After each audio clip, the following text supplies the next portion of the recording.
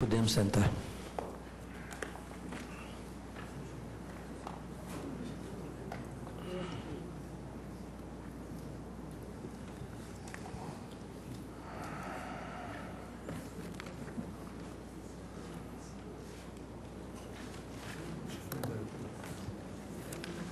Com número regimental, declaro aberta a 12ª sessão extraordinária deste plenário do Supremo Tribunal Federal, no corrente ano de 2012.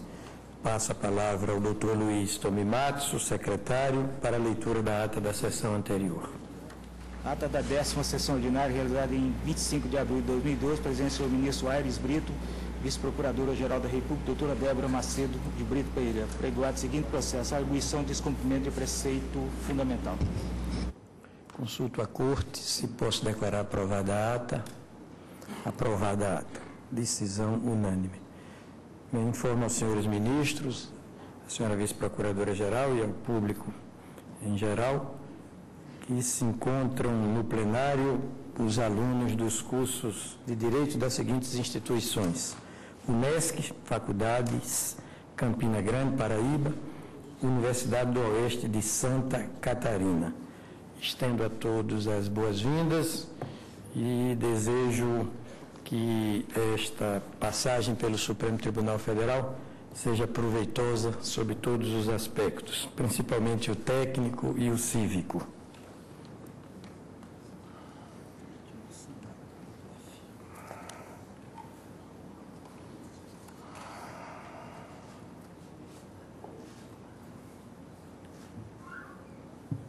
Ministro Ricardo Lewandowski, vamos dar continuidade ao julgamento da arguição de descumprimento de preceito fundamental 186, sob a relatoria de Vossa Excelência, arguição que procede do Distrito Federal e que tem como requerente o Democratas. Faço retrospecto da, do julgamento ontem iniciado. O Tribunal, por unanimidade e nos termos do voto do relator, rejeitou as preliminares de cabimento da arguição e de sua conexão com a ADI 3197. Votou o presidente. No mérito, após o voto de Sua Excelência, o ministro Ricardo Lewandowski, relator, julgando totalmente improcedente a arguição, o julgamento foi suspenso. Impedido senhor ministro, senhor ministro Dias Toffoli. Eu colho agora o voto da ministra. É... Pois não, ministro. Senhor presidente, é, ontem, em razão de um compromisso inadiável, ainda no dia de hoje, é, nós combinamos e, dentro dessa nossa solidariedade do plenário, a ministra Rosa Weber teve a gentileza de me ceder a oportunidade de votar antes de Sua Excelência. Então, e eu, então, agradeço a ela e peço é, a Vossa Excelência que conceda essa permissão para que assim o faça. Sem dúvida. Vossa Excelência, então, está com a palavra para proferir o seu certamente judicioso voto. Vossa Excelência hoje é alvo das nossas homenagens. É, Vossa Excelência aniversaria. agradecer a todos, é um momento importante que na na, na mínima hipótese, revela um amadurecimento para enfrentar os desafios da vida do Supremo Tribunal Federal. Receba meus cumprimentos, Excelência. Muito obrigado. Senhor presidente, eh,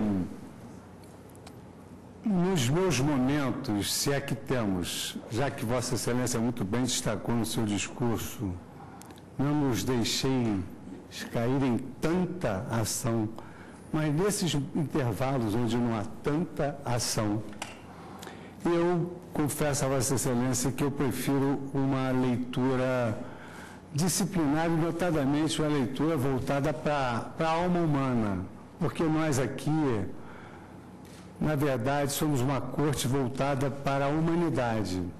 De sorte que é muito importante que cada um com o seu verso, cada um com a sua propensão, com a sua tendência, descubra os mistérios da alma humana, como Vossa Excelência os descobre através da poesia. E eu, particularmente, gosto muito de ler obras referentes à psicologia humana.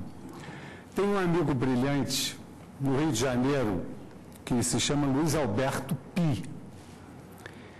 Luiz Alberto Pi é um, é um médico, psicanalista, um estudioso que formou-se nos Estados Unidos. E ele tem diversos livros que retratam, digamos assim, o perfil de cada problema endógeno que ele foi instado a decidir. Ele tem um, a primeira obra tão encantadora que se denomina Olhar Acima do Horizonte, onde ele conta a história de um homem que tinha um problema na coluna cervical, olhava muito para baixo. E a primeira recomendação médica que ele teve foi exatamente olhar acima do horizonte. O médico disse a ele, o senhor tem que se acostumar a andar olhando acima do horizonte, para que possa vencer não só esse problema postural, mas também para verificar como é melhor olhar acima do horizonte. Oportunidade em que realmente esse homem começou a detectar que a vida era tão mais bonita do que aquele chão que ele olhava diuturnamente, que os problemas dele se afastavam, porque ele estava olhando acima do horizonte. E ele traz uma série é, de temas como sofrimento, vida, morte, felicidade, enfim. E numa das suas passagens, onde ele estabelece as perplexidades da vida, ele afirma que os seres humanos têm que fazer opções. E ora tem que se fazer opções pela ira e ora tem que se fazer opções pelo amor. E eu me lembrei dessa passagem do Luiz Alberto, porquanto o Supremo Tribunal Federal, pela habilidade da presidência anterior do ministro César Peluso e agora a de Vossa Excelência, o Supremo Tribunal Federal tem colocado em pauta questões palpitantes que interessam ao, ao povo em geral, à sociedade em geral. E nessas questões, pelo menos em algumas delas, que nós vamos, não precisa nem indicar quais foram as questões, o Supremo Tribunal Federal teve que decidir se a vida clama por vida ou clama por tragédias humanas.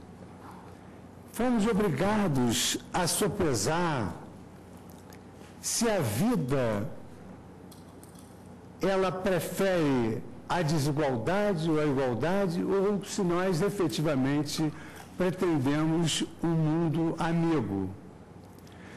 E depois de analisar todos esses casos que nós nos defrontamos, no ano passado e agora iniciando por esse caso tão sensível que suscita o que se hoje denomina na moderna doutrina constitucional um desacordo moral razoável, porque nós vivemos num Estado democrático, as pessoas têm o direito de manifestar eh, as suas opiniões. Hoje eu não tenho mais a, tenu, a mais tênue dúvida de agradecer a Deus, hoje no dia do meu aniversário, poder participar com colegas tão expressivos do desate desses dramas humanos. E eu concluo, senhor presidente, que efetivamente o Supremo Tribunal Federal tem lutado pela vida das pessoas que sofrem, pela esperança das pessoas que intentam viver. E como eu pertenci ao Superior Tribunal de Justiça, que tinha denominação de Tribunal da Cidadania, eu entendo, sem qualquer espírito corporativo, que o Supremo Tribunal Federal pode ser denominado o Tribunal de defesa dos direitos fundamentais. Tão intensa tem sido a sua tarefa na defesa das questões que afetam tanto a vida da sociedade, tanto a vida social e tanto a vida política. Aliás, ontem eu li rapidamente o noticiário que pretende-se engendrar uma reforma que iniba o Supremo Tribunal Federal de decidir questões sociais e questões políticas que hoje estão rotuladas dentro de um grande arco que se denomina de judicialização das questões sociais, ativismo judicial. Mas há duas questões que são fundamentais.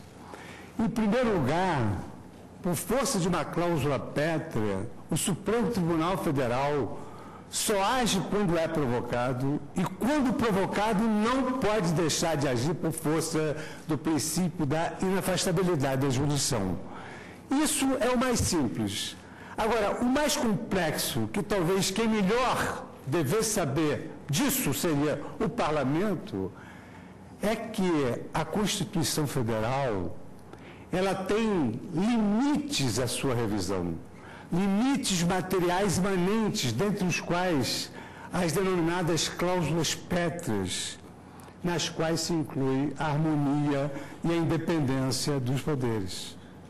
Então é absolutamente incompossível essa pretensão de outros poderes empreenderem a revisão dos atos judiciais. Por isso que me solidarizo com a declaração que o ministro Lewandowski deu no calor dos fatos, assim, pego de surpresa, mas que imediatamente invocou essa questão, que é uma questão simples e uma questão necessária, porque a instância reflexiva do Poder Judiciário, ela só se instaura quando há uma inação do Parlamento. A supremacia, a instância hegemônica que eventualmente se possa categorizar o Poder Judiciário só ocorre nas lacunas e no vácuo da atividade legiferante. Esse era um desabafo elogioso que eu queria fazer à casa que Deus me permitiu pertencer há um ano e poucos meses. Agora, essa causa em si, a causa da integração ético-racial, da juridicidade dessa integração ético-racial no acesso acadêmico da comunidade afrodescendente, ela realmente traz inúmeros desafios. Mas de tudo quanto eu pude aprender ouvindo as vozes da rua, as vozes sociais, que são fatores externos importantes, coadjuvados pela técnica constitucional que ontem foi tão bem evidenciada pelo ministro Ricardo Lewandowski, um memorável voto que eu tive o prazer imenso de assistir tudo até o final. Essa questão, muito embora possa suscitar um desacordo moral razoável, ela suscita dois sentimentos extremamente antagônicos, que a eles eu vou me referir já a seguir. De um lado, o receio de outro o orgulho. E vou explicar por que destaquei, depois de aprender as expectativas sociais, esses dois valores. Mas não se antes dizer que essa causa, ela me investe no mergulho no meu passado. Talvez até hoje seja um bom dia para eu pensar no meu passado e se eu justifiquei a minha existência até então. Mas, na verdade, essa causa me toca de perto por várias questões humanas. A primeira delas, eu não estou vendo aqui, mas foi exatamente uma iniciativa que fui instado afetuosamente a aderir pela palavra serena do Frei Davi, que ontem estava, meu querido amigo Frei Davi, um grande amigo, dileto amigo, Frei Davi. Hoje não está mais presente, mas também o nosso jurista Abdias Nascimento, que estava presente conosco. E o eminente advogado que ontem ocupou aqui a tribuna, o Adame, não sei se está aí também. E nós então iniciamos uma peregrinação em nome da justiça, desse resgate histórico de um país que se deu ao luxo de ter uma sociedade escravocrata durante quatro séculos, o maior período de toda a história na América. Iniciamos essa causa calcado exatamente nesse ideal de justiça. Mas também havia mais alguma coisa que me ligava a esse ideal de justiça, que era aquela percepção de que a supressão da liberdade, quer seja de opinião, quer seja uma liberdade física, é algo que atinge o cerne da humanidade. E pelo portal da alma dos meus antepassados, eu verifiquei que havia alguma coisa de comum entre a causa dos meus antepassados e a causa dos afrodescendentes. Então eu me lembrei que o mesmo homem que se retirou de um estádio em Berlim no século passado, para não ter que comemorar a vitória de Jesse Owens, que vencera a corrida dos 100 metros, dos 200 metros, dos 400 metros, e que superaram os atletas de raça pura ariana, esse mesmo homem fez com que os meus ancestrais assistissem uma escravidão nos campos de concentração e experimentassem os horrores do Holocausto. Então verifiquei que era mais do que uma luta por uma justiça, era uma luta também por uma ideologia. Evidentemente que eu também tenho orgulho de dizer que ambas as raças conseguiram superar esses obstáculos. E conseguiram superar esses obstáculos até então, e já num plano de análise do caso hoje, submetido à nossa jurisdição constitucional, um caso, eu repito, que desperta receio e orgulho. Como receio é um sentimento menor até porque esse receio é fóbico, na medida em que esse meu querido amigo Luiz Alberto Pia me transmitiu a ideia de que se uma pessoa tem medo de atravessar a rua, ela tem um medo fundado porque ela pode ser atropelada. Mas uma pessoa que tem medo do medo, ela não tem medo. Ela tem um estado patológico que a induz a isso.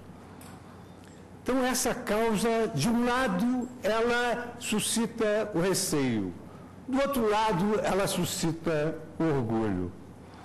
E eu fui buscar, senhor presidente, exatamente nessa nossa tarefa de unir a técnica aos fatores externos importantes para que se possa prestar justiça em primeiro lugar e depois dar uma roupagem jurídica a essa solução justa eu fui buscar exatamente algo que justificasse esse binômio antinômico, receio e orgulho.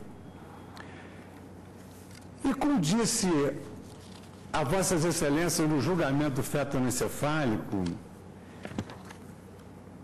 eu nunca tinha experimentado essa faceta da vontade popular de dialogar com o Poder Judiciário eu fui pesquisar e ao mesmo tempo recebi, não memoriais, mas recebi as palavras do cidadão sobre o que hoje aqui se passa.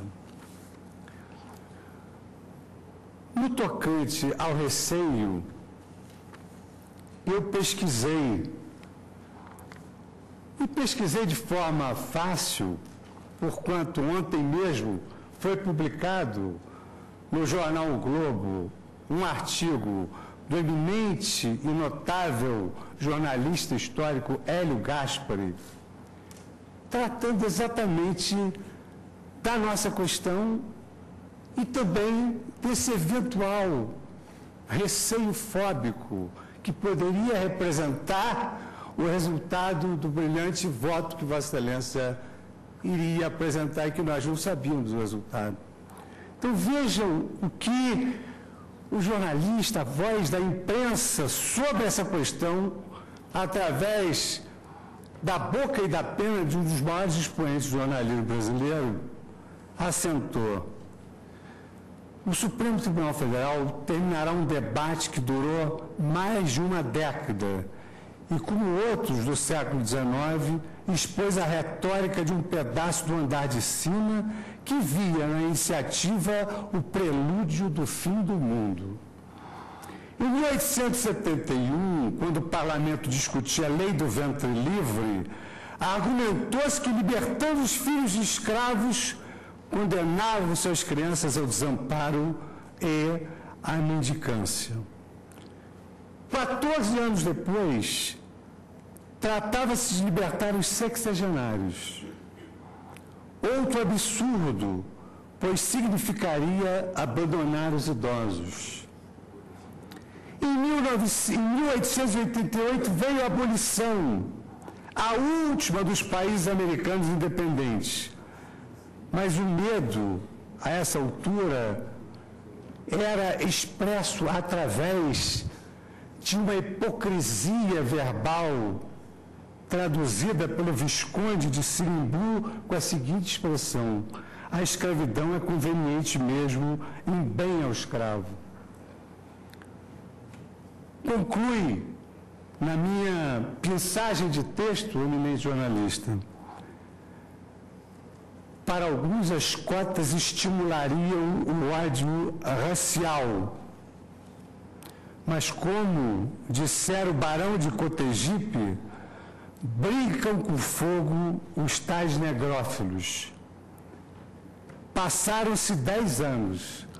Pelo menos 40 universidades instituíram cotas para afrodescendentes e hoje há milhares de negros exercendo suas profissões graças a essa iniciativa. E com aquele toque sutil que lhe é peculiar, uma ironia fina, diz ele, o fim do mundo ficou para a próxima.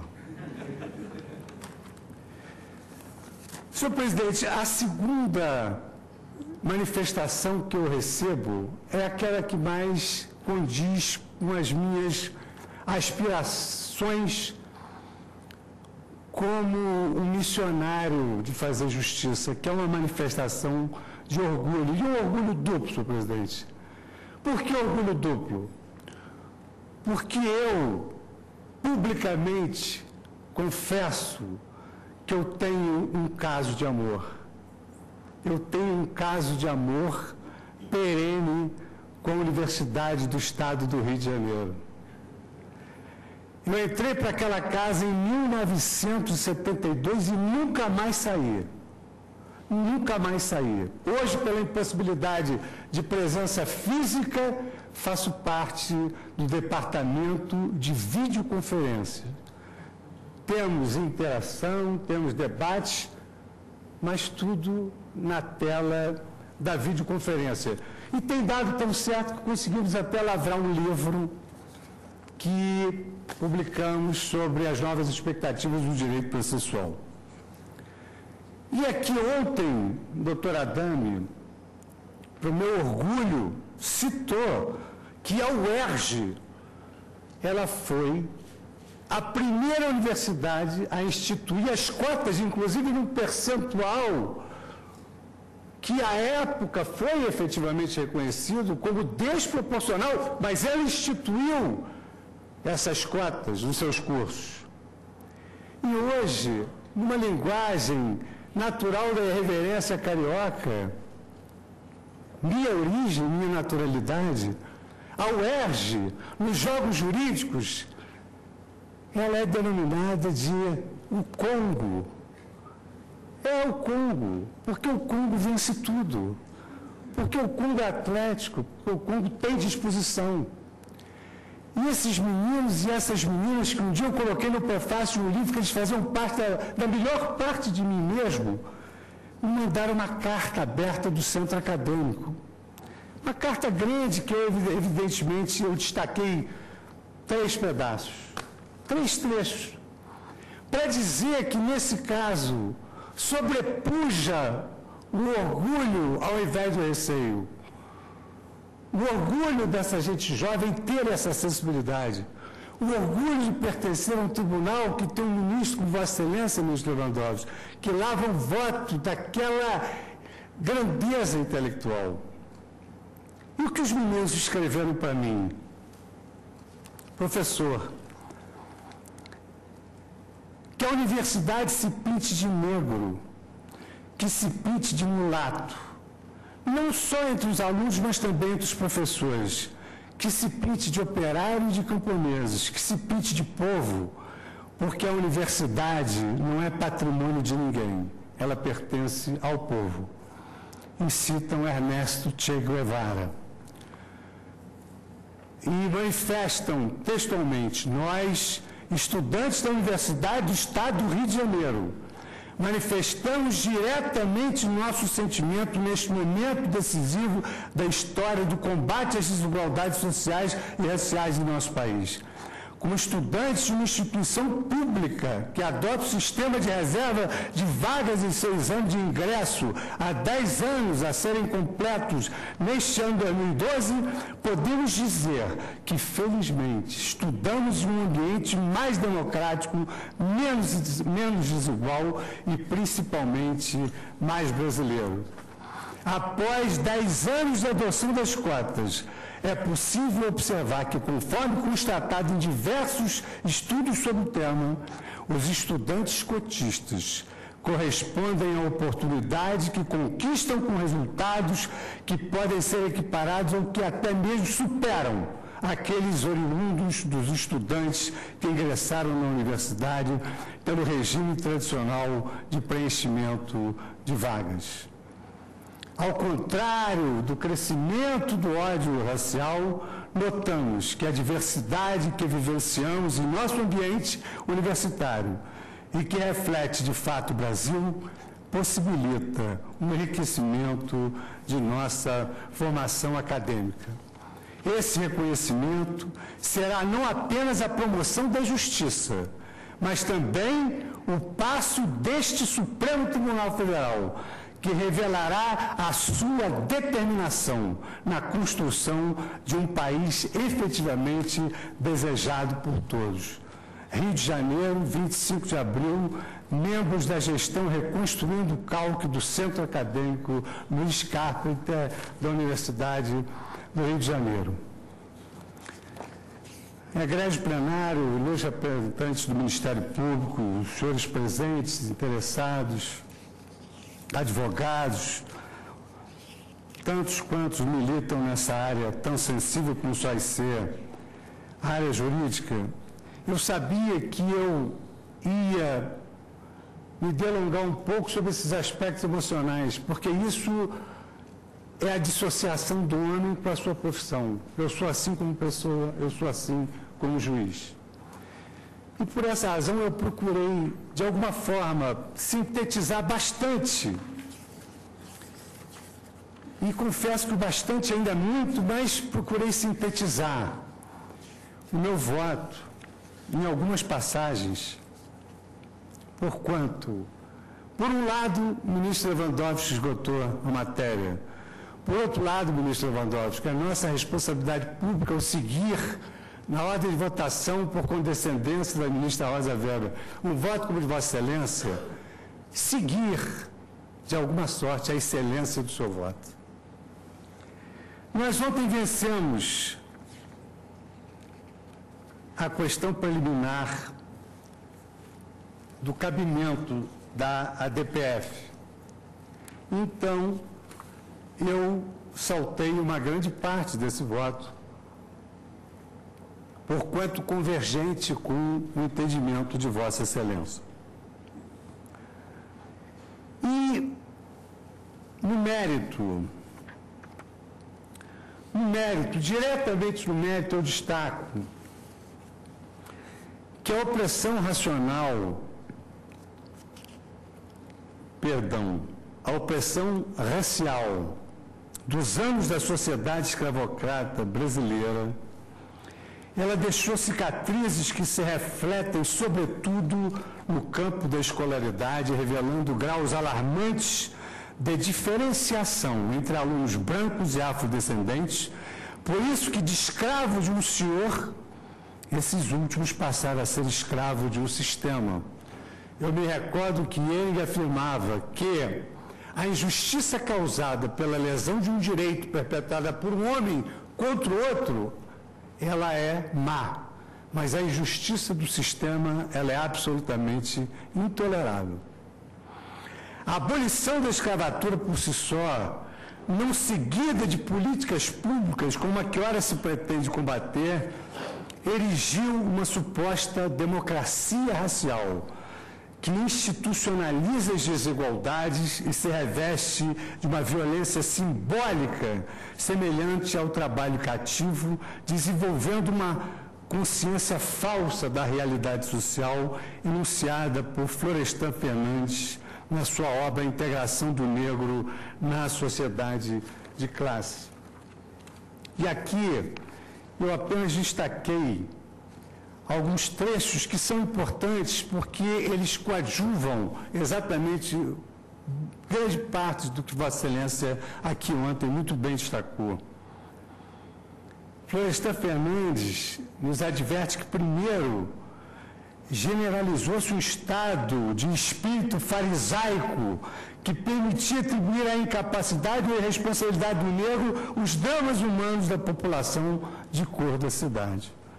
Em segundo lugar, isentou o branco de qualquer obrigação, responsabilidade ou solidariedade morais perante os efeitos sociopáticos da expoliação abolicionista e da deterioração progressiva da situação socioeconômica do negro e do mulato.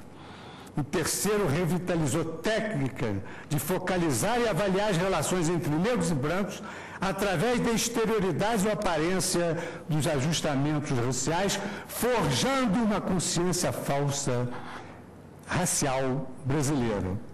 Em consequência, também generalizou para difundir e generalizar essa consciência falsa todo um elenco de convicções etnocêntricas. Primeiro, a ideia de que o negro não tem problema no Brasil.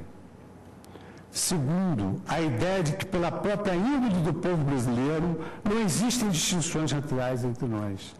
Terceiro, a ideia de que as oportunidades de acumulação de riqueza, de prestígio social e de poder foram indistintas e igualmente acessíveis a todos.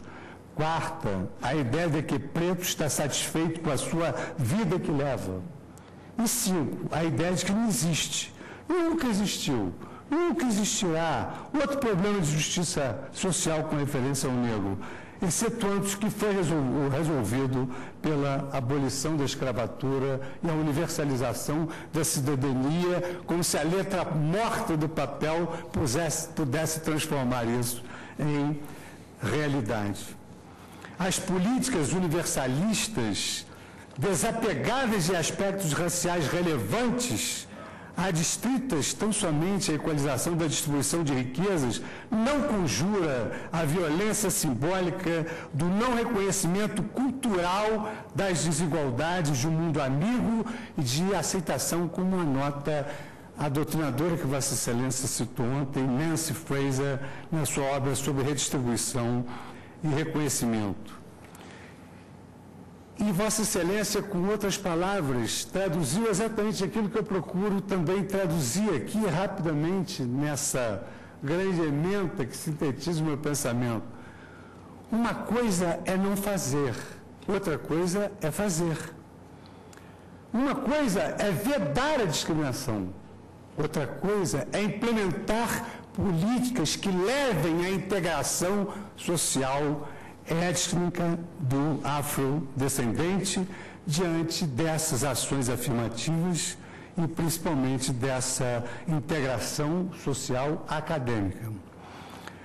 As ações afirmativas na expressão de Susan Banfield, que escreve exatamente sobre Courts and College Admissions, ou seja, ela escreve sobre essa temática que nós estamos discutindo.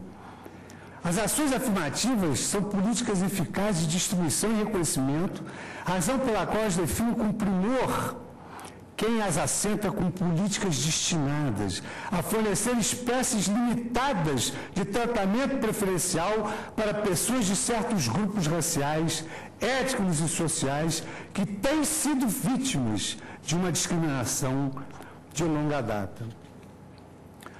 A igualdade, que é um valor fundante do Estado democrático de direito no presente estágio do Estado social, como Vossa Excelência ontem bem destacou, ministro Lewandowski, não se efetiva apenas com a vedação da discriminação, senão com a igualdade para além da formal, a isonomia real como última rácio a atender os novéis reclamos da não discriminação e da interdição ao racismo como cláusulas pétreas constitucionais. O direito à diferença, como decorrente dos ideários pós-positivistas da nossa nação brasileira, reclamam uma implementação ética da igualdade material, um tratamento desigual para os desiguais, escopo que não se alcança tão somente com promessas legais abstratas que não se coadunam com a moderna percepção da efetividade das normas constitucionais. E neste passo, eu cito aqui as obras que já foram anteriormente citadas, e basicamente as obras do, do ministro e dileto, companheiro de sacerdócio Joaquim Gomes Barbosa, quando aborda não só a questão de cotas sob o ângulo constitucional, mas também ação afirmativa como instrumento de transformação social. Trago a colação também aqui os estudos de Flávia Piovesan, por hora nesse tópico enfrentado e peço vênia para não transcrever, que estará constante do voto.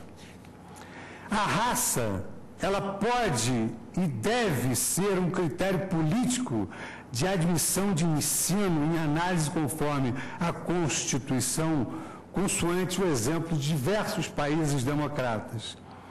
Ímpar nesse aspecto, por exemplo, os Estados Unidos, cuja Corte Suprema, sob a presidência búlgara, que foi a era búlgara de consagração das políticas sociais, do ativismo judicial, a partir do caso Bach, passou a reconhecer que a raça seria um fator que poderia ser considerado em políticas de admissão de instituições de ensino, sem que isso constituísse violação à Constituição. Desta forma, consoante apurado no estudo de Bernard Schwartz, os estudantes componentes das minorias, eles podem ser admitidos, ainda que não alcancem totalmente o critério acadêmico. E essa transcrição é da obra do professor Bernard Schwartz, A History of the Supreme Court, New York, Oxford University. No julgamento Bach, o Justice Brennan, citando a obra de Alan Sindler sobre a questão da igualdade de oportunidades, legou-nos a lição que nem sempre a doutrina está nos livros. A doutrina também está nos casos julgados. O Estatuto de Coimbra, que é o estatuto mais antigo de todas as faculdades de direito do mundo, estabelece, num dos seus dispositivos, lavrado em 1772, que os professores têm que ensinar aos alunos a glória dos doutrinadores, a lei e a doutrina dos casos julgados. Então, isso que nós estamos fazendo aqui é a doutrina do caso julgado. E o Justice Brennan assentou naquele seu memorável voto a intenção desse tipo de diferenciação entre alunos minoritários por suas condições não é o de aviltar ou insultar qualquer grupo racial, mas sim remediar desvantagens impostas por minorias em razão de preconceitos passados que é exatamente o caso que ora se submete ao nosso crivo. A construção de uma sociedade justa e solidária, como preconiza o ideário da nossa nação, que essa carta também de amor que Vossa Excelência pediu que nos reverenciássemos a ela diuturamente a partir daquela entrega gratuita, tão simbólica e tão bonita no dia da sua posse. A nossa Constituição Federal, como Vossa Excelência também, Ministro Carlos gosta sempre de repetir, pelo seu veio poético, pela sua sensibilidade humana, pelo ser humano que Vossa Excelência é, Vossa Excelência afirma que isso não, não são divagações. A Constituição promete, ela, ela promete e realiza. E se ela promete, ela deve realizar. Hoje, sob esse enfoque da efetividade das normas constitucionais, que significa basicamente dizer o seguinte: se a todo direito corresponde uma ação assegura, a minha ação pode estar baseada no Código Tributário, pode estar baseada no Código Comercial, mas ela pode estar baseada na Constituição Federal. As regras constitucionais têm normatividade suficiente para figurar como causa petente de ações. Eu posso invocar uma regra constitucional para promulgação, como essa ação de preceito fundamental está sendo veiculada. Então, a construção de uma sociedade justa e solidária, isto é muito importante, ela impõe a toda a coletividade a reparação de danos pretéritos perpetrados pelos nossos antepassados, adimplindo obrigações morais e jurídicas. É que, como assentado em recentíssima obra, que aqui também foi citada na oportunidade do julgamento do feto anencefálico pelo ministro Gilmar Mendes, na recentíssima obra de Michael Sandel, sobre essas obrigações que nos são impostas pelo nosso passado, pelas transgressões do nosso passado, essas obrigações são obrigações que nos são impostas pelos, como membros de comunidades com identidades históricas. Nesse mesmo sentido, para meu encantamento, se já não bastasse meu encantamento diuturno e pessoal,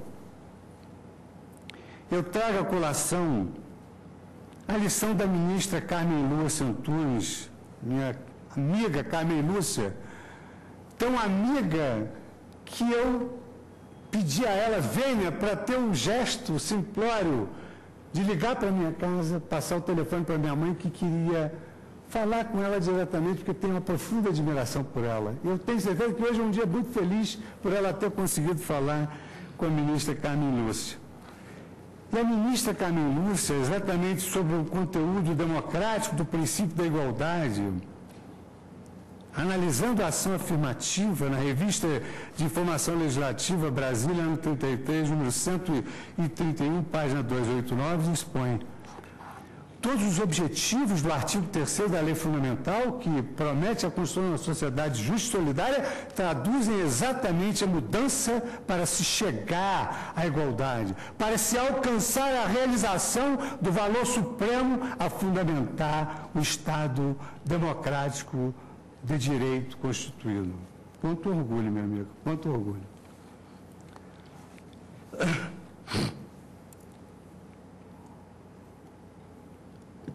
O cânone constitucional do acesso ao ensino segundo as capacidades de cada um, inserido no artigo 208, inciso 5 da Constituição Federal Brasileira, impõe uma exegese, uma interpretação que não se descure da percepção realista, da completa, da complexa e onerosíssima trajetória estudantil do aluno afrodescendente, oriundo das camadas pobres da população, em posição diametralmente oposta aos demais que carregam consigo as heranças do berço.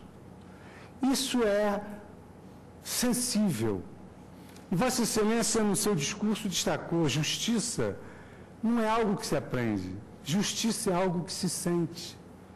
Uma criança em eternidade, ela aprende na história do Brasil a abolição da escravatura, os navios negreiros, a lei do ventre livre. Vossa Excelência permite. O substantivo sentença vem do verbo sentir. Exatamente aquilo que o juiz sentiu. Então, eu pude constatar isso nas campanhas que levei adiante com o Frei Davi. As crianças afrodescendentes lutam sim sentimento de baixa estima, porque elas aprendem coisas que baixam a estima delas. E essa política afirmativa, ela eleva a autoestima quando se verifica que componentes da comunidade afrodescendente ocupam posições singulares. Ele não estava presente e o meu elogio foi tanto mais sincero na medida que foi na sua ausência, mas eu repito, a minha admiração, o meu recolhimento pela sua cultura, o meu respeito ao ministro Joaquim Barbosa, que vai me permitir uma inconfidência. E eu vou fazê-la nessas caminhadas, e é boa, é boa, assim como a minha declaração de amor foi admissível, essa também é boa. Nessas andanças, sem qualquer pretensão de absolutamente nada, e até me recordo que naquela oportunidade não havia ainda a indicação de nenhum membro afrodescendente para os tribunais do país, muito embora eu estivesse acompanhando o ministro Benedito Gonçalves, que fora amigo do meu pai, a comunidade resolveu me conceder. A comunidade resolveu me conceder. Tem que esperar o terminar. Tem que, esper, tem que esperar o terminar o voto. Tem que esperar o terminar o voto. O senhor, o senhor espera acabar o voto. Senhor presidente, me perdoe. Só para acalmar, tem que esperar acabar o voto. Todos aqui verão que nós temos sensibilidade para compreender a raça humana.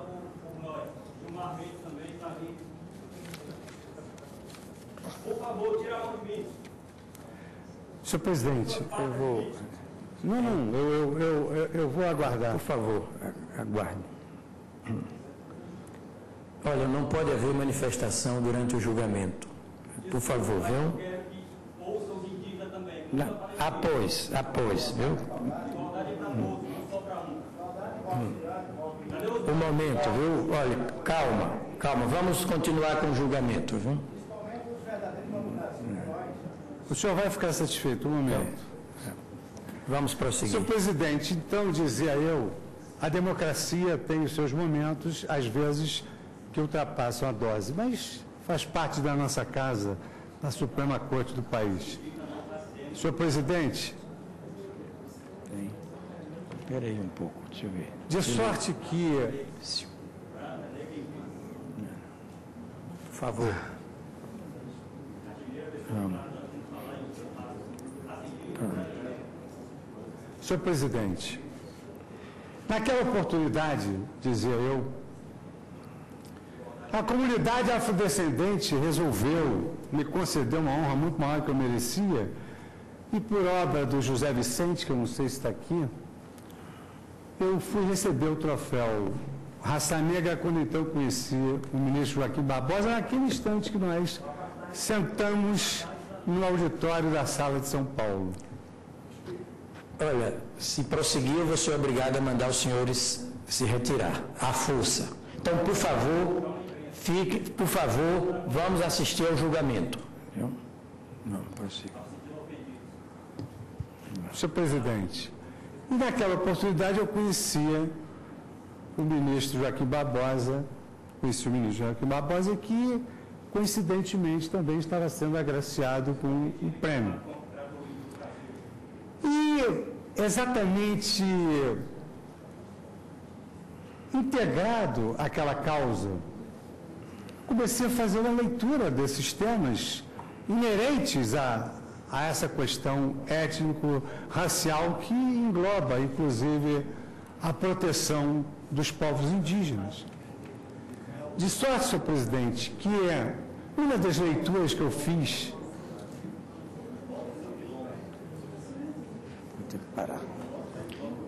Está suspensa a sessão até que se dê a retirada dos, das pessoas que estão perturbando o julgamento.